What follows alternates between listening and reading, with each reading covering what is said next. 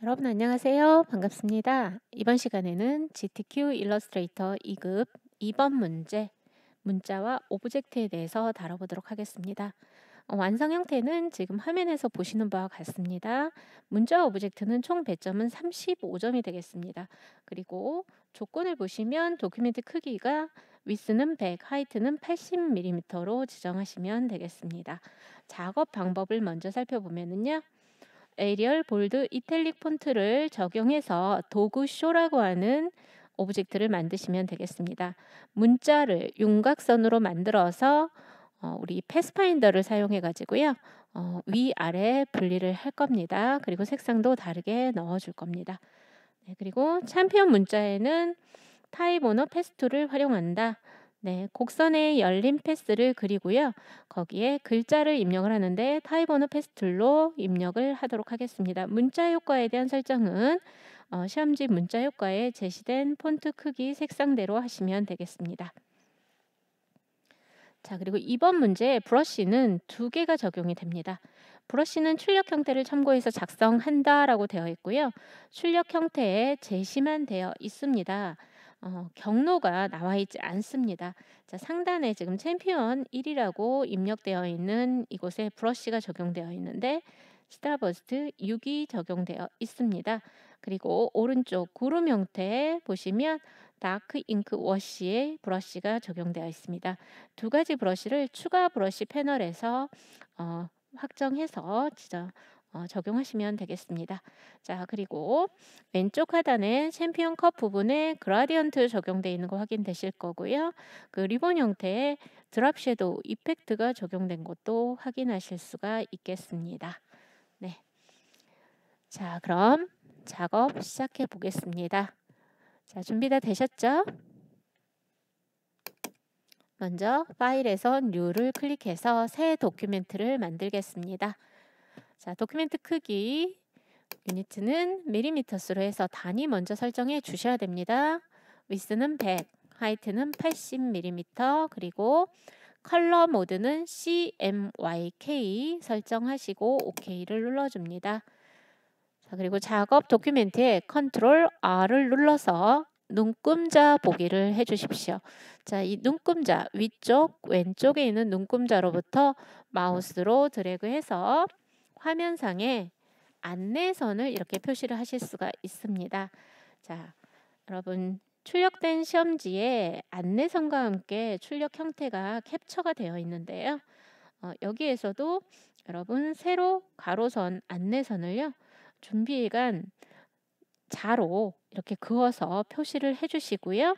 그 위치를 그대로 일러스트 화면에서 작업할 때 그 위치에 그대로 배치를 하고 크기 관계 설정해 주시면 어, 거의 동일하게 배치하실 수 있을 겁니다. 자, 저장을 하겠습니다. 컨트롤 S 눌러주시면 Save As 대화 상자 나옵니다. 자, 저장 경로 아주 중요합니다. 이 경로에 저장하지 않으면 전송 안 되고요. 파일 형식과 이름도 맞아야지 전송이 됩니다. 내 PC 문서에 GTQ 폴더 만들어서 지금 저장하고 있습니다. 시험 환경과 동일한 경로에 저장을 하셔야 나중에 시험 보실 때 전송 못하는 경우가 안 생기겠죠. 그죠? 오류를 줄이기 위해서 평소 연습하실 때 동일한 경로에 해주십시오. 그리고 2번 문제니까 파일 이름 뒤에 문제번호 2가 붙을 거예요. 네. 수험번호, 성명, 그리고 문제 번호가 붙을 텐데 자 여러분 시험장에서도 이렇게 입력하시는 건 아닙니다. 시험 접수하시고 나면 수험번호 여러분 부여받으실 거고 그 부여받은 수험번호에 의해서 자리도 착석을 하실 거예요. 로그인도 하실 거고요. 그 해당 수험번호 쓰시고 여러분 성명 쓰시고 그 다음에 2번 문제니까 숫자 2 써서 이렇게 순서대로 파일 이름도 해주셔야 돼요. 이름이 틀렸을 때 그때는 또 전송 안 되겠죠? 네, 파일 형식 Adobe Illustrator AI인지 확인하시고 저장 눌러줍니다. 자, Illustrator Options라는 대화 상자가 떴습니다. 우리 교재 Illustrator CC 2020으로 진행을 하고 있습니다. 교재에도 명시한 바 있습니다. 그러나 어, 여러분이 현재 사용하고 있는 Illustrator 버전 그리고 시험장 버전에 따라서 이 옵션에 나오는 내용은 달라질 수 있다는 점이에요. 그 부분 확인하시고 진행하시면 되겠습니다. 자, OK 눌러줍니다.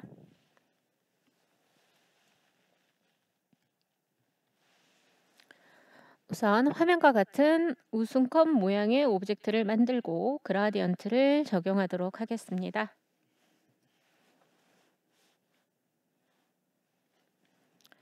자, 엘립스 툴을 선택합니다.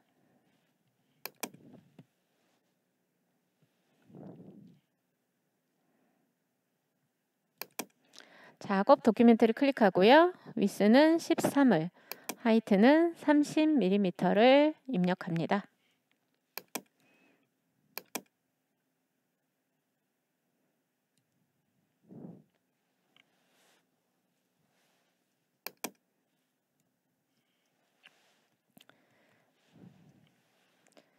자, 그런 다음 컵의 형태를 만들기 위해서 Rectangle Tool로 어, 타원의 하단과 겹치도록 그려주도록 하겠습니다.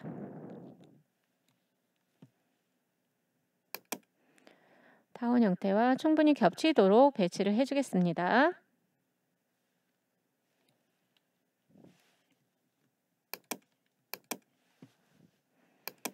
자, 전체 선택을 하시고요. 겹치는 부분의 오브젝트만 남기는 명령어가 뭐죠? 네, Pathfinder의 세 번째 Intersect 클릭하시면 겹치는 부분의 오브젝트만 이렇게 남게 되겠죠? 네. 그 다음에 이제 변형을 해주도록 하겠습니다. 자, 변형을 할 때 기존의 오브젝트에 있는 점을 뭐 추가를 해줄 수도 있고요. 그 다음에 핸들을 조정할 수도 있고 여러 가지 방법을 쓰실 수가 있겠습니다. 자 여기에서는 점을 추가해서 위쪽 오브젝트를 변형하도록 하겠습니다. 자 Add Anchor Point Tool로요. 상단 중앙에 선분 있죠. 점과 점을 잇는 중간선 이 짧은 선을 우리는 선분이라고 얘기를 합니다. 자 이곳에 클릭하시고요. 점이 추가가 됐으면 이렇게 이동이 되겠죠. 네. 고정점을 추가하고요. 방향키 이용하셔서 상단으로 이동을 해 주십시오.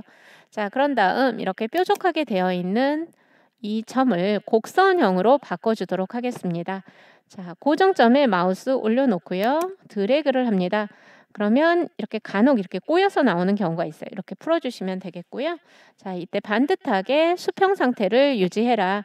이때는 쉬프트를 누르면서 드래그 하시면 되겠습니다.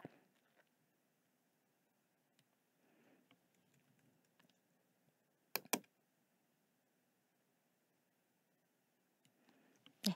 자, 그러면 곡선의 핸들이 수평 상태를 유지하면서 어, 반듯하게 어, 적용이 됩니다. 자, 그런 다음 하단에 이제 모양을 완성하기 위해서 사각형과 타원을 그려서 배치하도록 하겠습니다.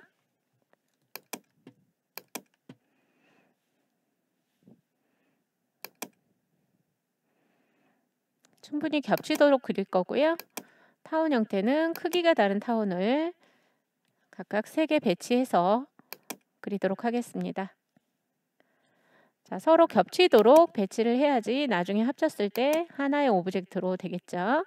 네, 컨트롤 A 해서 Align에 Horizontal Align Center를 클릭하게 되면 이렇게 가로상의 가운데 정렬이 되겠죠.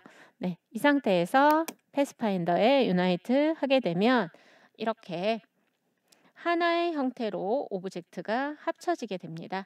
자, 그러면 여기에서 약간의 변형을 해주도록 하겠습니다. Direct Selection Tool로요. 하단부에 있는 두 개의 고정점 있죠? 네, 이 컵 모양 중간 지점 하단이죠. 네. 자, Shift 누르면서 클릭 또는 드래그를 해주시면 되겠고요. 자, 키보드의 방향키 이용하셔서 이렇게 상단으로 이동을 해주면 모양이 예, 변하겠죠? 네, 이렇게 해서 편집을 좀 해주십시오. 자, 그런 다음 Gradient 적용하겠습니다. 자, Gradient 패널 열고요. Stroke Color는 None을 지정할 겁니다. 컬러 패널도 같이 열어놓고 진행하시면 되겠습니다. 자, color stop, 왼쪽 color stop 클릭하시고요. 색상 체계는 CMYK로 하셔야 됩니다. Y80 그리고 오른쪽은요. CMYK 설정하시고요. MY 40, 90 설정하시면 되겠습니다.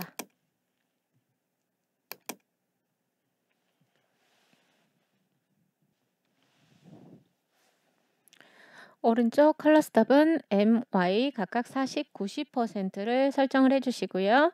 자, gradient 색상이 좌우에 배치되어 있는 관계 보시면서 gradient 패널에서 gradient angle도 조정하시는데 여기에서는 0도 설정해도 되겠습니다. 자, 이제 컵의 손잡이 부분 만들 텐데요. 자, rounded rectangle tool을 선택을 합니다. 자, 그리고 Alt 눌러서 세로 안내선에 클릭하시면 정렬되면서 그릴 수 있겠죠.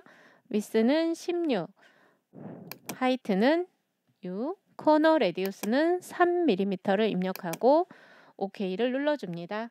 자, 그런 다음 stroke 색상만 부여를 하겠습니다. 자, 그리고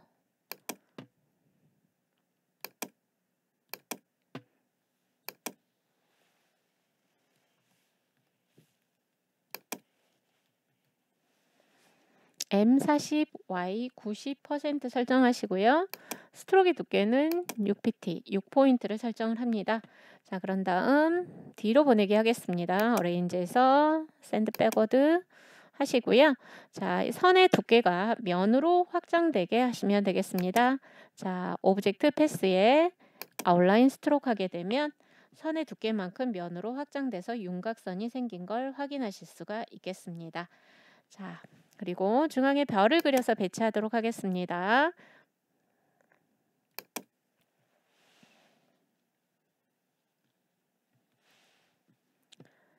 자, tool 패널에서 star tool을 선택합니다. 그리고 fill color는 흰색으로 stroke color는 none을 설정하겠습니다.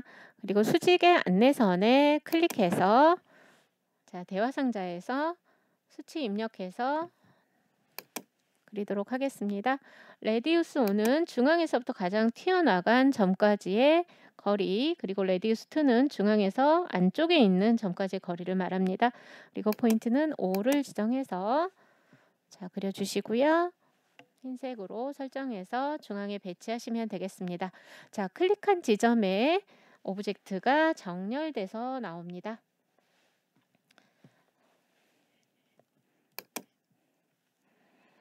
자, 이제 우승컵의 리본 형태 아래쪽에 리본 형태 그리겠습니다. rectangle tool로 그려줍니다. 작업 document를 클릭하고요. 위스는 4, height는 17mm를 입력해서 그립니다. 그런 다음 필 칼라 적용하겠습니다.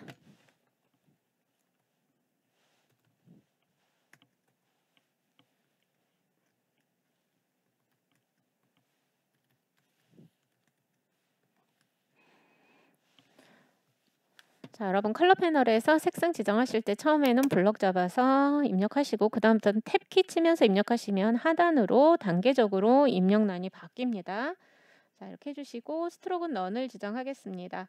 자, 그리고요. 어, 변형을 위해서 이 사각형에 점들을 추가할 거예요. 지금 보시면 사각형은 4개의 모서리에 anchor point가 있습니다. 자, 그런데 이 anchor point 사이, 즉 선분, segment에 균일하게 점을 추가해주는 명령이 있습니다. object, path 클릭하시면 add로 시작되는 명령어 있죠? add 추가하는 거예요. anchor point, 고정점들을 추가한다는 얘기죠. 네, 클릭하게 되면 어떻게 되나요? 점과 점 사이 2분의 1 지점 있죠? 정확하게 중간 지점에 이렇게 점들이 추가된 걸 확인하실 수가 있습니다. 물론 여러분 add 앵커 포인트를 사용해서 클릭하는 방법도 있습니다. 네.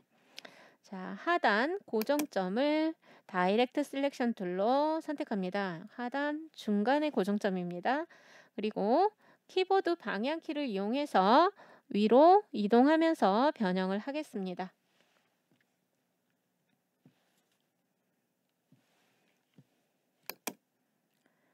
자, 그리고요. 자, object 면을 클릭하시면 direct selection tool로도요. 이렇게 object 자체가 다 선택됩니다. 면색 클릭하시고요. Alt 누르면서 오른쪽으로 드래그 하겠습니다. 그리고 반듯하게 이동하실 땐 Shift도 나중에 눌러주시면 되겠고요. 자, 여기에 색상을 바꿔줍니다.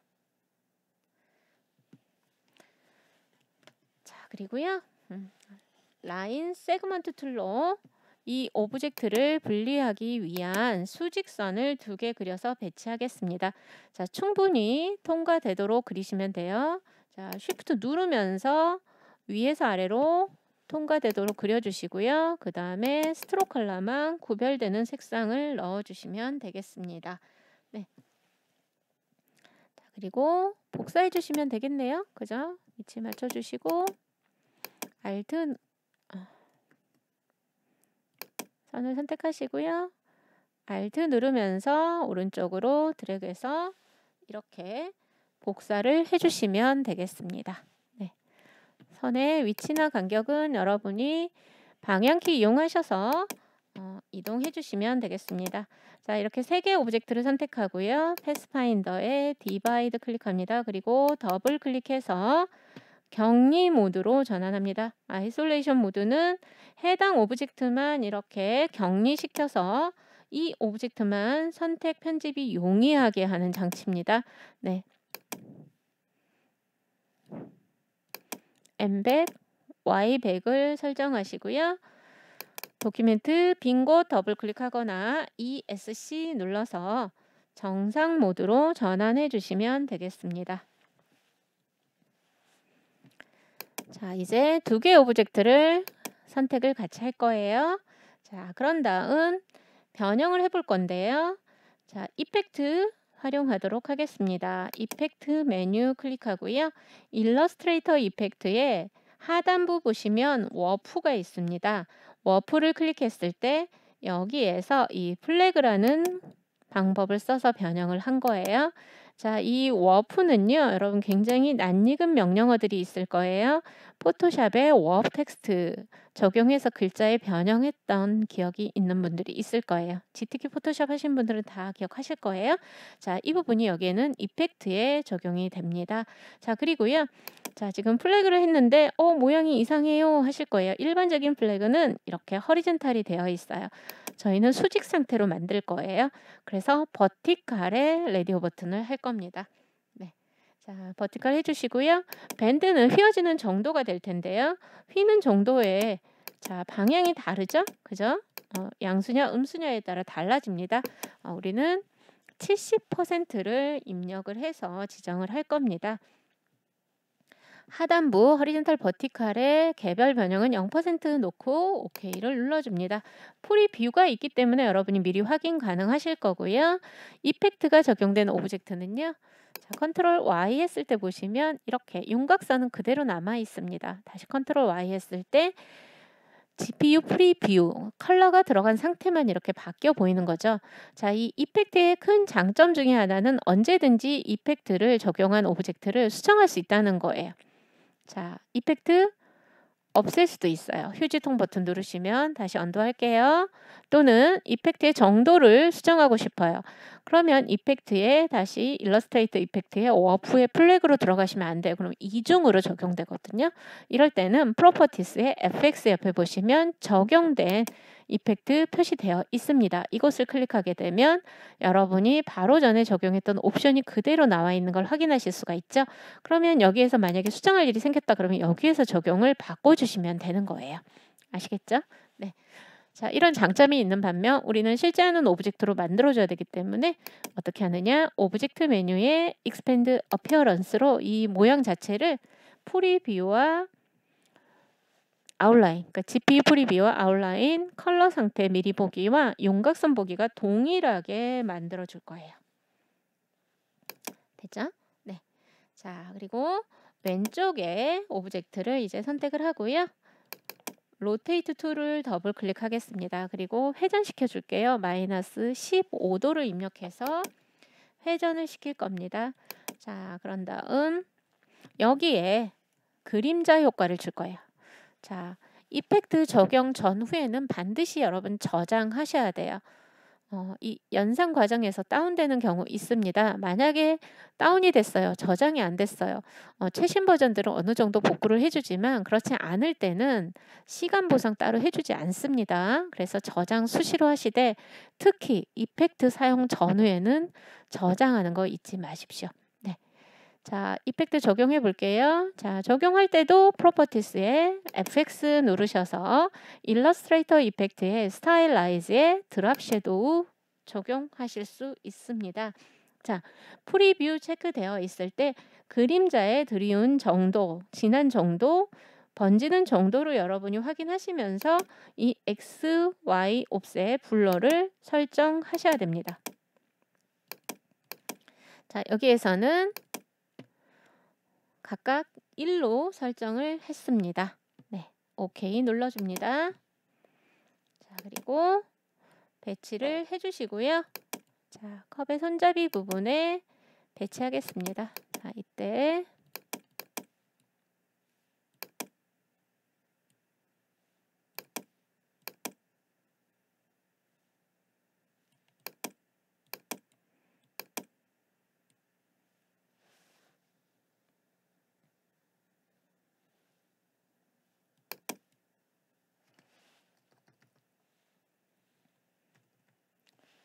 출력 형태 보시면서 진행을 해주시면 되겠습니다. 자, 미세하게 이동하실 때는 키보드 방향키 활용하시면 되겠습니다.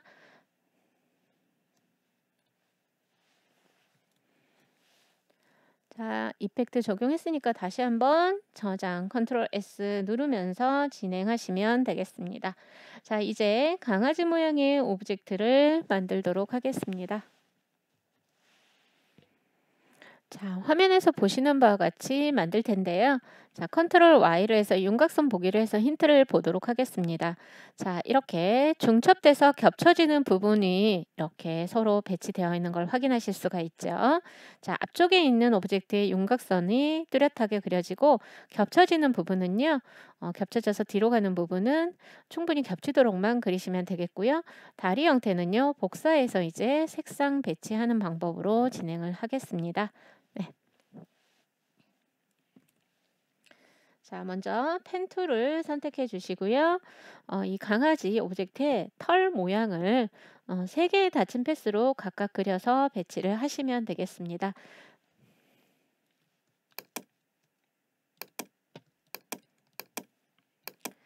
자, 여기 음영 부분은 나중에 그려서 올려지는 부분이기 때문에 여기에서 보여지는 outline 부분이 있죠. 윤곽선 부분만 그려주시면 되겠습니다. 자, 이때 곡선일 때는 여러분 드래그를 통해서 그리시면 되겠고요. 화면 이동하실 때 스페이스바 꼭 누르시면 이렇게 hand tool 모양 됩니다. 손 도구가 되기 때문에 이때 드래그 통해서 document 이동해 가면서 진행하시면 되겠습니다. 자, 그리고 path 진행 방향에 어, 다음 그려준 path가 적용이 안 될 때는 드래그 했던 고정점에 마우스 포인터 올리시고요. 펜 옆에 꺽쇠 나왔을 때 클릭하시면 한쪽 핸들이 사라진다고 말씀을 드렸어요. 네, 그래서 곡선의 형태를 쭉쭉 그려 나가도록 하겠습니다. 네. 자, 그리고 그리시다가 Alt 누르고 핸들의 고정점 그러니까 이 고정점 좌우에 나오는 핸들 있죠? 이 방향점이라고 하죠. 이 방향점에 Alt 누르고 드래그 하시면 따로따로 방향점만 조정하실 수도 있어요. 없애지 않고 조정하실 때는 이렇게 하시면 되겠습니다. 자, 그래서 윤곽에 해당되는 부분을 먼저 그리도록 합니다. 자, 여기에서도 Alt 누르고 이 핸들을 없애는 것보다는 드래그 했던 고정점에 마우스 오버해서 펜 옆에 꺽쇠 나왔을 때 클릭하시는 게 훨씬 수월합니다. 이 부분은요. 네, 이렇게 해서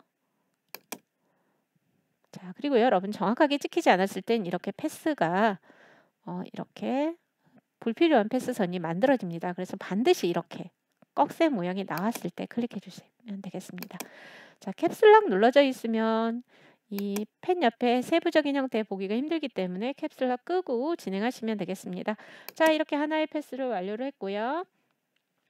그 다음에 이제 다음 path 진행할 텐데요. 이때 보시면 펜 옆에 이렇게 별표 나옵니다. 이때 새로운 path 그려집니다.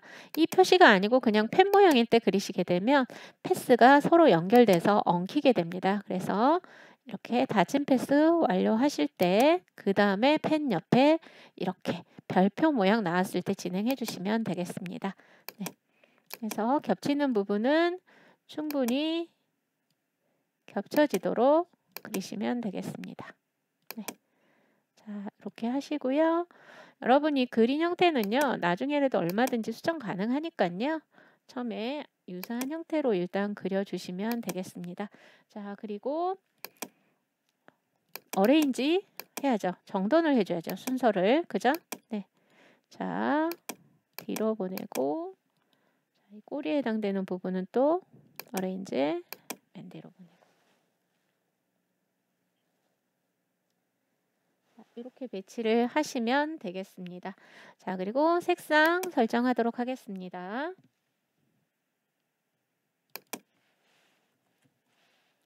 fill color는 Y가 10이고요. stroke color는요.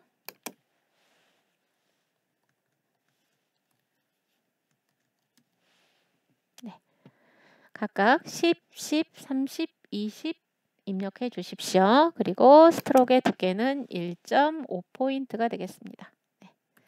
1.5pt 입력하고 엔터 눌러주시면 되겠습니다. 자, 이제 어, 앞다리 형태, 앞다리 모양 object를 만들고요.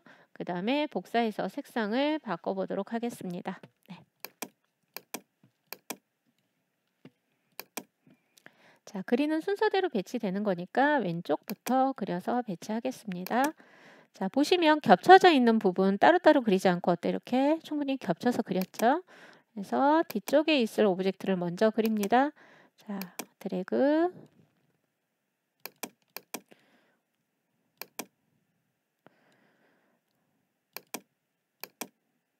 object 윤곽이 밖으로 나오는 영역은 더 명확하게 그려주시면 되겠고요.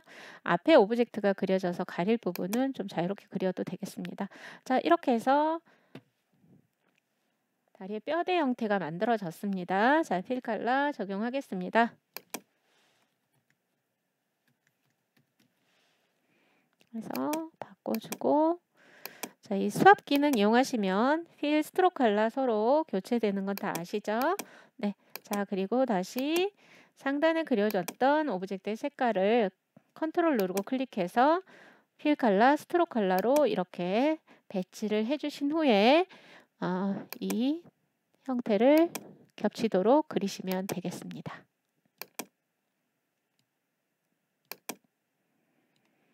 자, 오늘 하는 예제는요. 어, 여러분 pen tool 연습이 굉장히 많이 되는 예제가 될 겁니다. 그래서 pen tool이 어렵긴 하지만 피해갈 수는 없습니다. 그죠? 어, 그래서 기본 object 결합해가지고 pathfinder로 만드는 방법도 있지만 그렇게 만들어지지 않은 object들도 꽤 많습니다. 이때는 pen tool 여러분 사용하셔야 됩니다. 자 이렇게 형태 그렸고요. 두 개의 object를 selection tool로 선택을 하겠습니다. 자 그리고 Alt 누르면서 오른쪽 아래로 복사를 해줍니다. 네. 자 그리고 음, 뼈대 형태의 색상을 바꿔주도록 하겠습니다.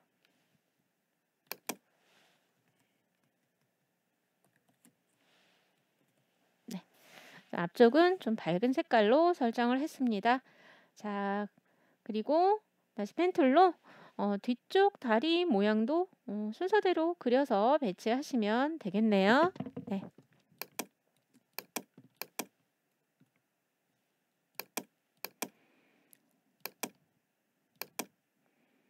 자, 색상은요. 기왕에 여러분이 작업 중에 미리 설정되어 있는 컬러가 있다면 그 컬러를 컨트롤 누르고 클릭해서 흡수한 다음에 진행하셔도 되겠고요. 아니면 eyedropper로 object 선택됐을 때 해당 색상이 있는 object 클릭 한번 해주셔도 되겠습니다.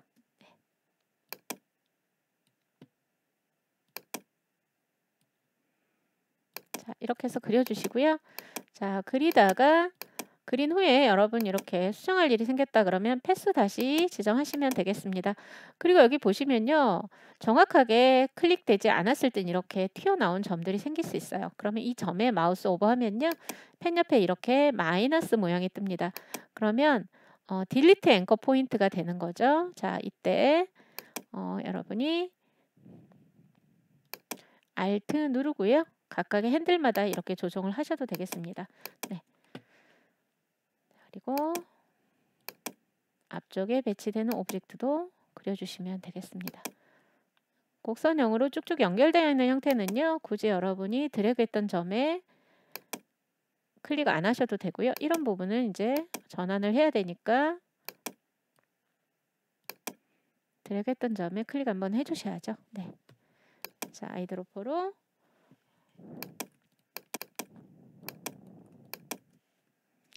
색상 넣어주시면 되겠습니다.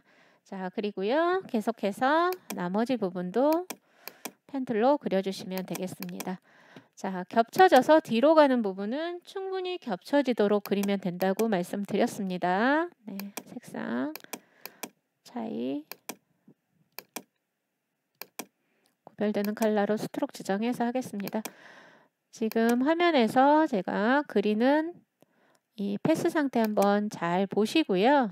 여러분도 어느 정도 거리에 점을 찍고 드래그는 어느 정도 각도로 하겠느냐 이 설정에 대한 거를 여러분 잘 관찰해서 진행하시면 되겠습니다.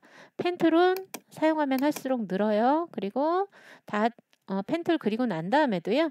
어, 컨트롤 키 눌러서 이렇게 direct selection일 때 점들 그 다음에 핸들 방향 수정 가능하고요. 정확하게 찍히지 않았을 땐 이 점에 마우스 오버하게 되면 이런 식으로 Delete Anchor Point가 돼요. 그리고 핸들 따로 움직여줄 땐 Alt 누르면서 핸들의 끝 방향점에 드래그 해주시면 되겠습니다. 자 이렇게 그려졌고요. 이제 앞쪽 형태도 마저 그려서 배치하시면 되겠습니다. 네.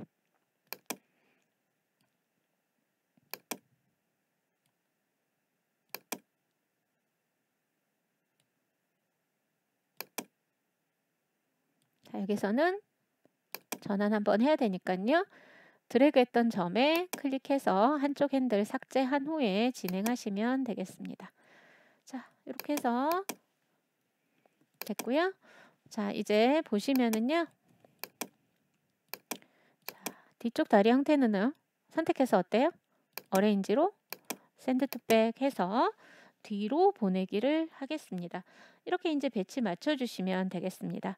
자, 저장하면서 진행해 주시고요. 이제 얼굴 부분에 음영을 먼저 만들고요. 그 다음에 얼굴 형태 그려서 배치하겠습니다. 네. 자, 음영 부분은 Stroke Color가 없기 때문에 굳이 어 여기 Divide 하면 되지 않나요? Divide 굳이 해주실 필요 없고요. 어, 아래에서 위로 차곡차곡 쌓이는 구조로 여러분이 그리시면 되겠습니다. 네, 그래서 자, 이 부분도 중간에 이렇게 앞뒤 관계 배치돼야 되기 때문에 뒤쪽에 배치되는 부분부터 생각해서 음영 그려주시면 되겠습니다. 그래서 여기 턱 부분에 해당되는 음영을 먼저 그려주십시오.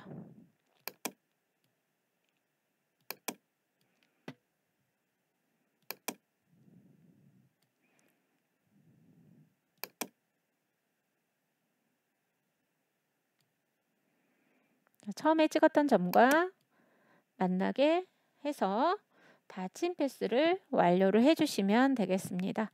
자, 이 부분은 색상이요.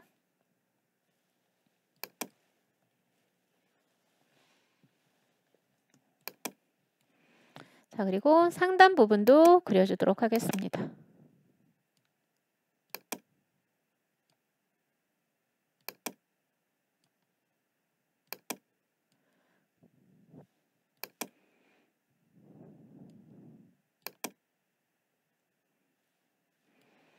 자, 얼굴 형태 위로 올려질 거니까요.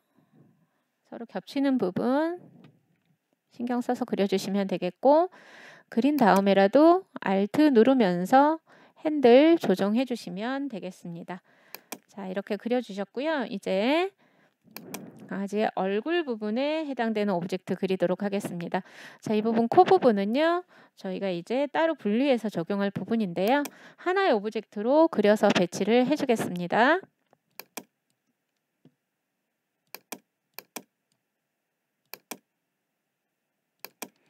자, 직선 부분은 클릭해 주시면 되겠고요. 곡선일 때는 드래그를 해 주시면 되겠습니다.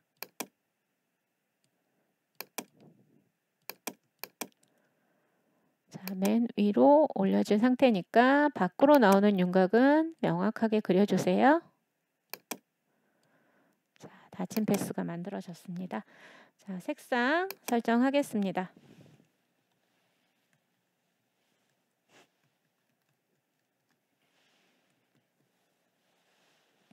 자, 이렇게 해서 이제 얼굴 부분을 그렸고요. 자, 얼굴 부분에 해당되는 object를 선택하고요.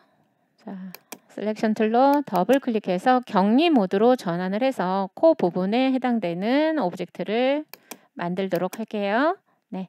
자, 필요하다면 언제든지 path의 격리 모드 전환 가능합니다. 그룹이 아니어도 단일 path도 격리 모드로 전환 가능합니다. 자, 이렇게 해주시고요. Pen Tool 사용해서 열린 path를 그릴 텐데 이 코 부분, 콧등하고 아래 코 부분 분할할 열린 path를 그리도록 하겠습니다. 자, Stroke Color만 부여하고요.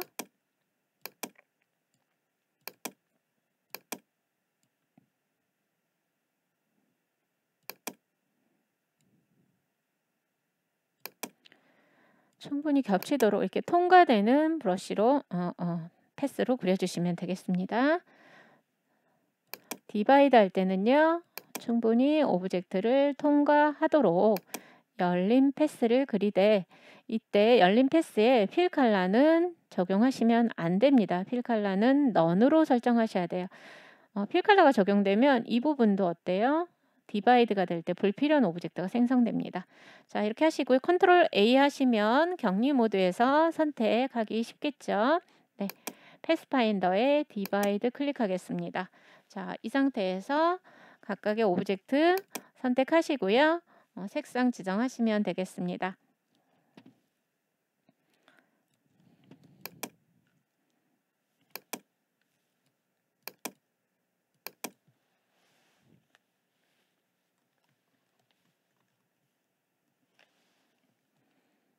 하단 object 선택할 거고요. 여기는 K100을 설정하시면 되겠습니다. 네. 자, 이렇게 했고요. 자, 이 상태에서 바로 열린 path로 입 모양을 그리셔도 되겠습니다. 네. 자. 입 모양은요, 여러분 선의 속성으로 그려서 면으로 확장하는 방법을 사용하시면 되겠네요. 자, 보시면 이 부분이 어때요? 둥그렇게 끝부분이 둥그렇게 되어 있는 걸 확인하실 수가 있죠. 네. 자, 이렇게 해서 이렇게 해서 그릴 거고요. 자, 그렸을 때 여러분 수정이 필요하시면 컨트롤 키 누른 상태로 드래그 하시면 얼마든지 path 수정 가능합니다. 네. 자, 이렇게 해서 수정을 했고요. 자, 여기에는 스트로크에서 여러분 스트로크의 두께는요. 0.75를 지정하겠습니다.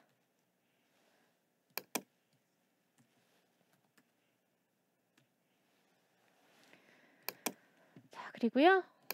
끝모양, 열린 패스의 끝모양을 라운드 캡을 설정하시면 끝부분이 이렇게 둥그렇게 되겠죠? 네. 자, 그리고요. 색상을 지정하겠습니다.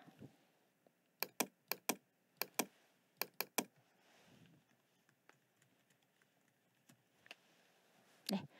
자, 그리고 선의 속성이 면이 되도록 Object의 Path에 Outline Stroke 해주시면 선의 굵기, 끝 모양이 어때요? 면의 속성으로 바뀌어서 이렇게 들어가는 걸 확인하실 수가 있겠습니다.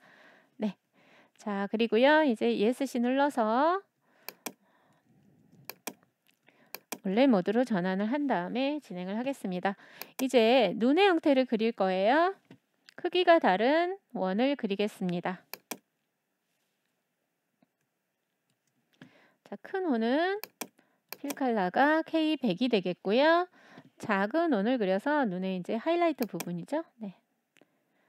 자, 흰색을 설정을 하겠습니다.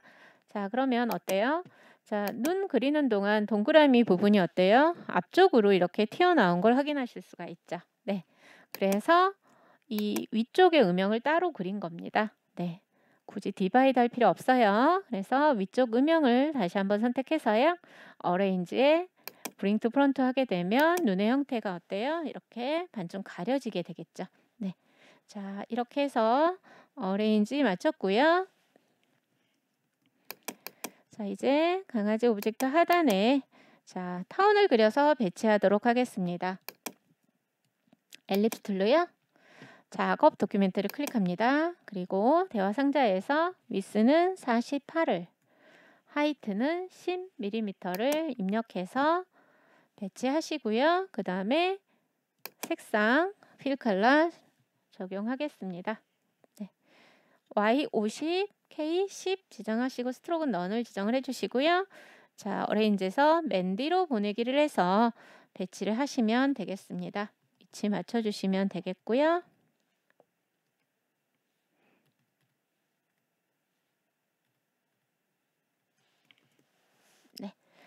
자, 이렇게 해서 이제 강아지 오브젝트는 만들어졌습니다. 자, 이제 브러쉬를 적용을 하겠습니다. 자, 선택을 해제합니다. 컨트롤 누르시고 document 빈 곳을 클릭해서 선택 해제해 주십시오. 추가 브러쉬를 불렀을 때 선택된 오브젝트에 적용될 수 있기 때문입니다. 자, 저장하면서 진행해 주십시오. 자, 오브젝트의 선택이 해제된 상태에서 추가 브러쉬 부르겠습니다. 자, 브러쉬 패널 클릭하시고요. 하단 보시면 brush libraries menu가 있습니다. 자, 먼저 dark ink wash를 선택하도록 하겠습니다. 자, 이 브러쉬는요. artistic에 artistic 언더바 ink를 클릭해서 추가 브러쉬를 불러서 선택을 하실 수 있겠습니다. 자, 추가 브러쉬 패널이 열렸는데요. 자, 추가 브러쉬 패널에 보시면 보통은요. 이렇게 thumbnail view로 되어 있습니다. 그래서 여러분이 원하는 브러쉬 상태를 어, 출력 형태에서 확인하시고 바로 클릭하는 방법도 있고요. 자, 클릭하게 되면 기본 브러쉬 패널에 이렇게 추가되는 걸 확인하실 수가 있죠. 네. 또는 list view를 클릭하게 되면 이때는 브러쉬의 이름이 보입니다. 그래서 바로 여러분이 직관적으로 찾으실 수도 있겠습니다. 브러쉬마다 이거는 설정을 달리해서 바꿔 보실 수 있어요. 어디에 있다고요? 추가 브러쉬 상단 보시면 옵션 보기 있습니다. 여기에서 view 상태를 썸네일, 리스트 번갈아 가면서 여러분이 확인하실 수가 있겠습니다. 자, 일단 접어 놓고요. 자, 상단에 이제 구름 모양을 그려 볼 건데요. 네.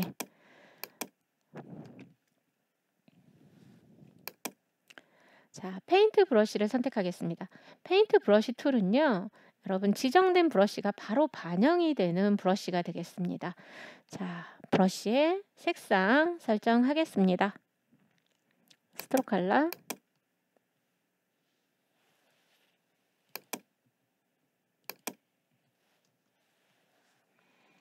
설정해 주시고요. 그 다음에 브러쉬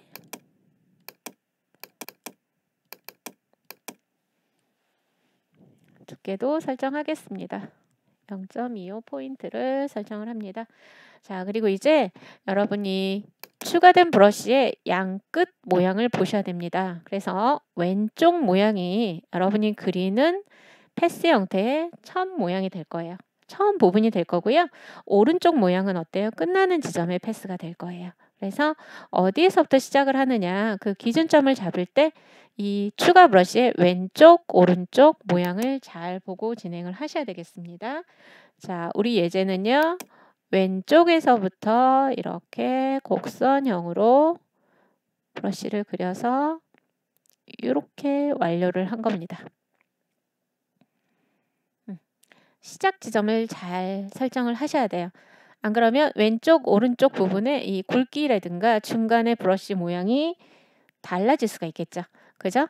자, 이렇게 paint brush로 그리실 때는요. 화면 배율을 너무 키우지 마시고요. 이렇게 작게 줄이셔서요. 한 번에 드래그 할 때 숨 참으면서 드래그 하시면 되겠습니다. 네. 물론 어 저는 세부적으로 똑같이 그릴 거예요. pen tool 활용하셔도 되겠어요. 네. 그런데 이렇게 그리고 난 후에도 여러분 얼마든지 direct selection tool 사용하셔서 이렇게 수정 가능하시잖아요. 그래서 이렇게 수정하는 방법으로 마무리를 하셔도 되겠습니다. 네.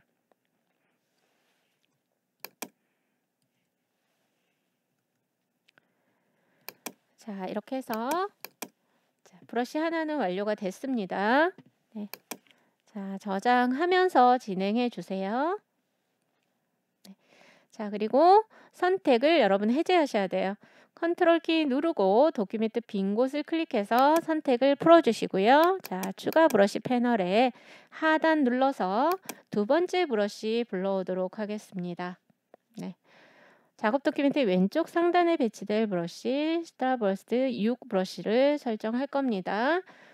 자, 세부 경로는 문제에서 제시하지 않고 있어요. 네, 과거에는 제시를 해줬거든요. 지금은 최종 브러쉬만 보여집니다. 자, decorative에서 찾으시면 되겠습니다. 자, decorative 언더바 banners and seals를 보시면 자, 브러쉬가 이거는 모양 자체가 직관적으로 보이죠. 그죠? 네, 이 브러쉬입니다. 네. 별표 형태 있고 뒤에 리본 형태 있는 거죠. starburst 6이라고 되어 있는 브러쉬를 선택을 하겠습니다. 자, 그런데 제가 브러쉬의 좌우 형태 끝 모양을 보라고 말씀을 드렸어요. 그죠? 자, 근데 우리 어, 예제에서 보시면은요.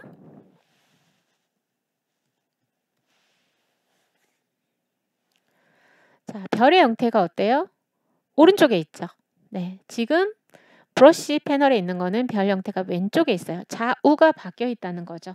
그러면 여러분이 패스를 그릴 때 시작 지점을 어디로 잡아줘야 돼요?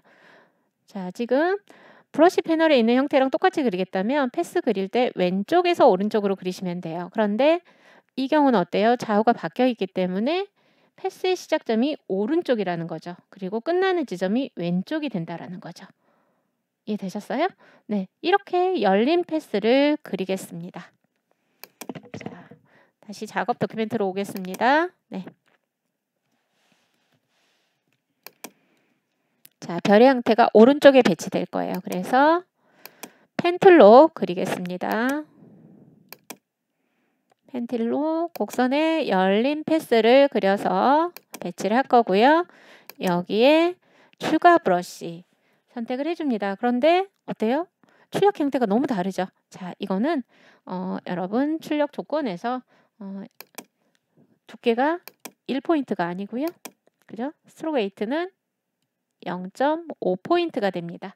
자, 0.5포인트로 설정을 해주시면 되겠고 그 다음에 그려진 형태 보시고요. 나중에라도 여러분이 패스를 수정을 해주시면 돼요.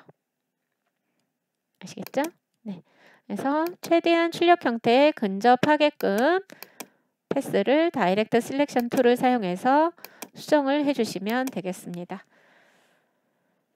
이렇게 해서 두 번째 브러쉬까지 설정을 했습니다. 자, 이제 여기에 on a Path Tool로 곡선을 따라 흐르는 문자를 입력을 해야 되죠. 자, 이 패스 자체에 입력을 해버리면 브러쉬가 적용된 이 패스가 투명이 돼버립니다. 자, 그래서 선택하고요. 여러분 이럴 때는요. Object의 Lock의 Selection 컨트롤 숫자 2를 눌러주시면 이 object에 lock이 걸립니다. 잠금이 설정되기 때문에 이 브러쉬가 투명해지는 일은 없겠죠. 네. 자 이제 여기에 글자를 입력을 할 거예요. 챔피언이라는 글자를 입력할 건데 글씨가 왼쪽에서 오른쪽으로 쓰여지는 구조를 만들 거예요. 자 그러면 이때도 그러면 이 브러쉬처럼 오른쪽에서 왼쪽으로 열린 패스를 그리는 게 아니고요. 글자가 왼쪽에서 오른쪽으로 올려지기 때문에 이때는 왼쪽에서 시작점 잡아주시고요.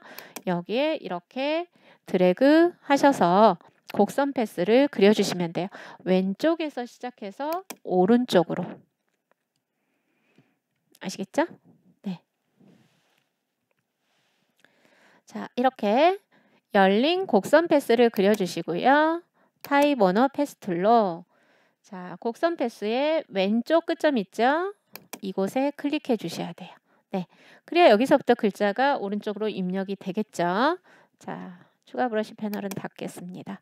그리고 글씨 컬러 먼저 설정을 하겠습니다. 여기에서는 흰색입니다. 네. Ctrl T를 눌러서 캐릭터 패널을 펼쳐 놓고요. 여기에 제시한 문자의 조건대로 먼저 폰트를 지정합니다.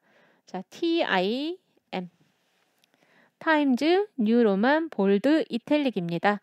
자, 폰트 검색을 해줬고요. 여기에서 Bold Italic으로 지정하고 엔터 눌러줍니다. 자, 그런 다음 글자의 크기는 10포인트가 됩니다. 자, 대문자 고정이니까 캡슬락 누르고 입력해 주시면 되겠습니다.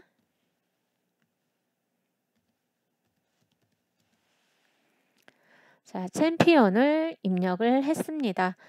이때 컨트롤 눌러서 글자 선택해 보시면 이렇게 수직의 선이 보일 거예요. 이 수직의 선을 이용해서 여러분 글자 배치도 바꿔주실 수가 있고요. 아니면 패스 자체에 수정을 해주셔도 돼요. 아시겠죠? 네.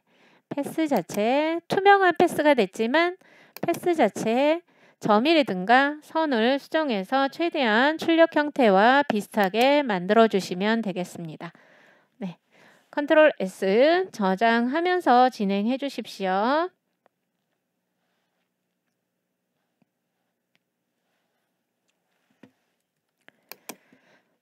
자, 이제 이 브러쉬 별 형태 중앙에 원을 그려서 숫자 입력하도록 하겠습니다. Ellipse Tool로 Fill Color는 흰색을 지정합니다. Stroke None을 지정하시고요. Alt 눌러서 네, 중앙에서부터 타원을 그려서 배치하도록 하겠습니다.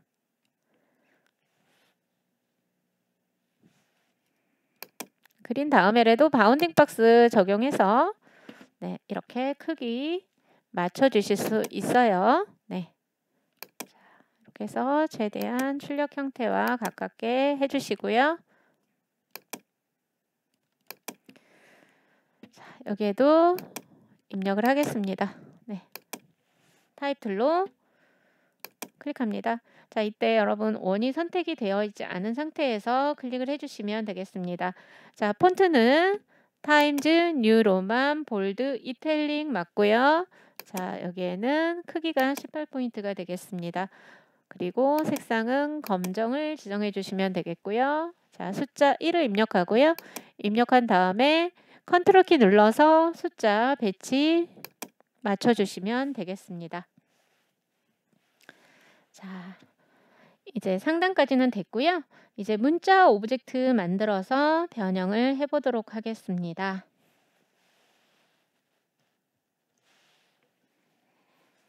Tool 패널에 Type Tool을 선택합니다. 작업 document를 클릭하고요. 완성형 텍스트가 나왔을 때 캐릭터 패널에서 폰트 설정하겠습니다. 자, Arial 쳅니다. AR 입력하시면 이렇게 폰트를 미리 완성형으로 검색을 해주죠. 자, Arial Bold Italic을 설정합니다. 그런 다음 글자 크기는 20, 24포인트를 지정하시면 되겠고요. 그리고요. 컬러 지정하겠습니다. 필 컬러는요. 네. 입력란 하단을 옮길 때 탭키 눌러서 옮겨주시면 되겠습니다. 자, 설정이 다 됐으면 입력을 해주십시오. 캡슐락이 눌러져 있죠?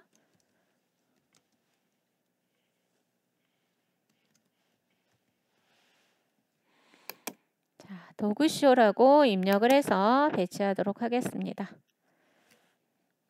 자, 그런 다음 1번 object가 선택되듯이 지금 선택되어 있을 때 마우스 오른쪽 버튼 누르면 Create Outlines가 있습니다. 자, Create Outlines를 하게 되면 글자의 윤곽선을 이렇게 실제 object로 따주는 역할을 하는 거죠. 네. 자, 이렇게 해 놓고요. 저희 다른 object가 있으니까요. 이 더블 클릭해서 격리 모드로 전환해서 작업 진행해 보겠습니다. 자, 여러분 필요하시다면 격리 모드 전환해서 얼마든지 어, 작업하시면 되겠어요. 네. 자, 여기 이제 어떤 상태를 만들 거냐면요. 지금 완성된 결과를 보시면은요. 자, 이렇게 되어 있죠. 네. 보시면 위쪽, 중간, 아래쪽 색상이 다 다르고요. 이렇게 비어 있는 공간이 있는 걸 확인하실 수가 있습니다. 그죠? 네. 자, 이 부분을 저희가 이제 분리를 해줄 건데요. 이때 여러분 Pen Tool로 곡선 형태를 그리는 방법도 있겠으나 저는 타원 형태를 만들어서 활용을 하겠습니다. 네. 자, Ellipse Tool로 문자와 겹치도록 두 개의 타원형을 그려주시면 됩니다. 이때 Stroke Color만 설정해서 그려주시면 되겠습니다.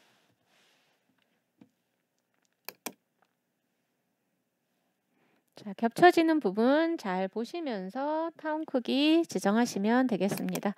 그린 다음에 Bounding Box 조정하시면 됩니다. 네, Bounding Box로 타원의 크기도 조정하시고요. 그 다음에 겹쳐지는 부분도 잘 보시면서 배치해 주시면 되겠습니다.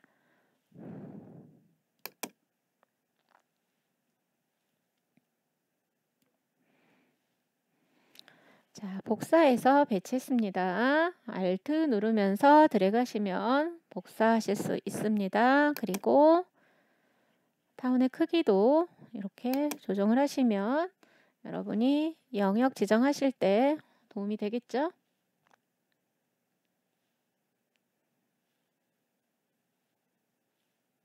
네. 자, Control A를 하시기 전에 자, 불필요한 Divide된 공간을 없앨 거예요. 네, 그래서 어떻게 이 타원 형태의 필요한 부분만 남기고 열린 path로 만들 거예요. 자, 왼쪽 타원 형태, 위쪽 고정점 선택하시고요. Delete. 오른쪽 타원 형태, 아래쪽 고정점 선택하고 Delete. 해서 이렇게 열린 path로 배치를 했습니다. 자, Control A 누르면 격리 모드상에 있는 object만 선택이 되겠죠. 네, 그리고 Pathfinder에 Divide를 클릭하겠습니다. 그럼 바깥쪽에 있는 선들은 자연스럽게 사라져서 안 보이겠죠. 그죠? 네. 자, 그러면 분리된 위쪽 object들을 선택을 하겠습니다. 자, 분리된 부분 여러분 알고 계시니까요. 네. Shift 누르면서 자, 왼쪽 상단에 분리된 object를 면을 클릭해서 선택해 줍니다. 자, 그런 다음 색상을 지정하도록 하겠습니다.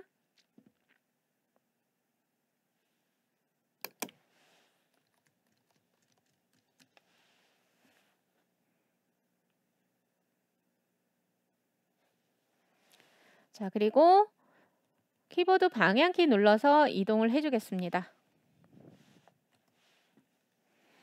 자, 그리고 아래쪽에 해당되는 분리된 object Shift 누르면서 또 선택을 해 주십시오. 자, 드래그를 하게 되면 드래그 도중에 이 중간에 닫혀 있는 path 부분도 선택이 돼서 색깔이 들어갈 수가 있기 때문에 어, Shift 누르면서 클릭했습니다. 자, 이곳에도 색상 지정하겠습니다.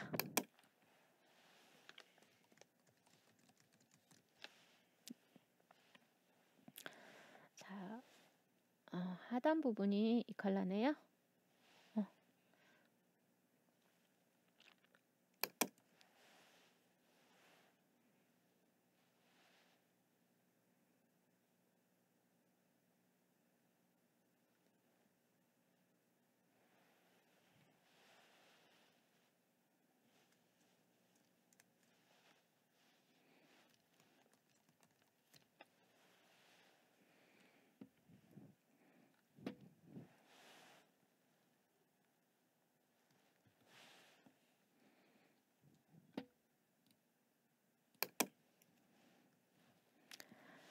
네, 아래로 이동을 해줄 거고요. 색깔이 지금 서로 바뀌었네요. 네, 자 이렇게 해주시고 상단 object 다시 Shift 눌러서 선택한 다음에 자, 지정된 색상 설정하시면 되겠습니다. 네.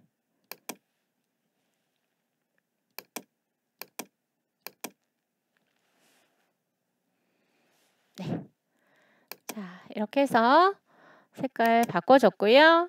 ESC 눌러서 원래 모드 정상 모드로 전환을 해주시면 되겠습니다. 선택 해제해 줄 거고요. 자, 이제 전체 보기 할 겁니다. 현재 창에 맞추게 하겠습니다. Tool 패널 하단 Hand Tool 자체를 더블 클릭합니다. 자, 그러면 이렇게 전체 보기 현재 창에 맞춰서 화면 전체가 보일 겁니다.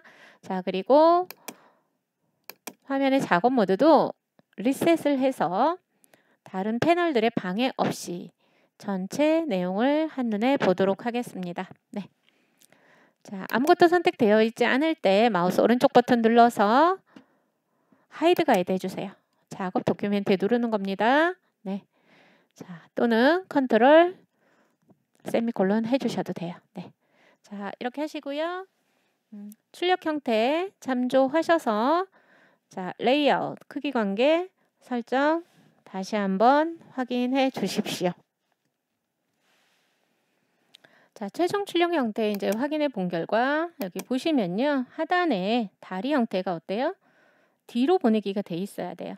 자, 이런 부분을 전체적으로 확인을 하시면 되겠습니다. 그래서 이렇게 Send to Back에서 이 Arrange가 서로 설정되어 있는 것끼리 같이 선택해서 맨 뒤로 보내기 하시면 되겠습니다. 자, 이렇게 최종 출력 형태 보시면서 다시 한번 어, 정답 형태랑 뭐가 다른가 확인 한번 해주시고요. 자, 이제 확인이 다 끝났다. 그러면 이제 저장을 해주시면 되겠습니다. 자, 파일에서 Save As